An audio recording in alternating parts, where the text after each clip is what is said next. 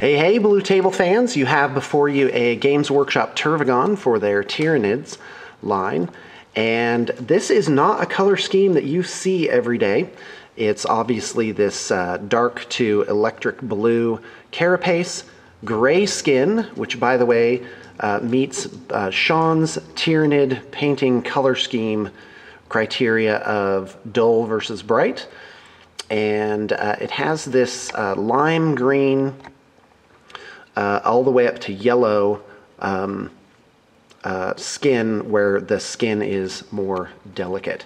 Now, uh, let's go ahead and uh, take just a slightly closer look. Uh, the Tervigon, by the way, is not only an excellent model, but is pretty much a must-have in a Tyranid army. You've got to do, you've got to do at least two of them, and uh, because they spawn, as you can see, there's a little Termagant coming out here. Um, they spawn uh, termagants, which are troops choices and can really uh, can really turn the game for you.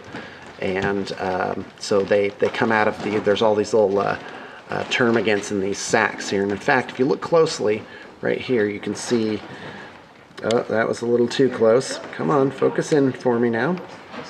Uh, you can see uh, their heads uh, kind of uh, bulging underneath these uh, underneath these sacks. In fact, let's see if we can see one on the other side. There, there. hold on. Oops. Okay, there's one right there. You can see where the head is uh, pushed up against it, which uh, is a very uh, well done feature by Games Workshop.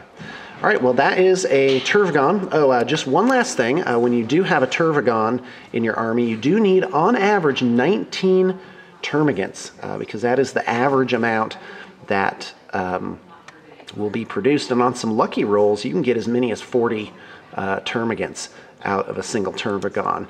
And uh, I have to tell you, that is just tactically, this creature is so flexible. And she also has uh, psychic powers of Dominion, which can uh, bring a brood into the hive mind at long range in a pinch and also Catalyst. Catalyst is huge. It gives a unit feel no pain, 12 inch range. And uh, with leadership 10, she can reliably, uh, reliably get that off. Well, uh, I have to say this is a pretty cool color scheme for Tyranids. Uh, I definitely think this would be very strong for uh, doing it um, uh, army-wide. Well, hope you got your inspiration for the day, and thank you ever so much for tuning in.